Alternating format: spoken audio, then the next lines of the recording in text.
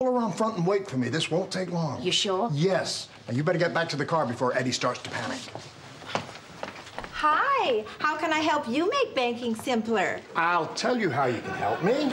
I'm gonna talk and you're gonna listen and you're gonna do exactly as I ask. I think I should go get a manager. No, no managers. Oh, but our now, policy this is, is- real simple and I know you can handle it. Now, what I want you to do is. Hold it right there, mister.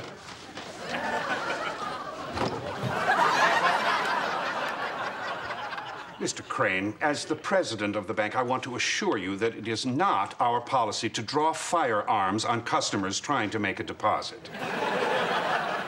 wasn't a deposit.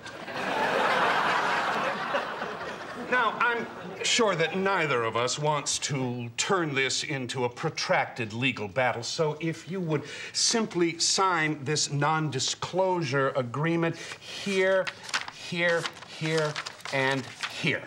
Our attorneys have authorized me to compensate you for your troubles in the amount of $10,000, which can be credited to your account.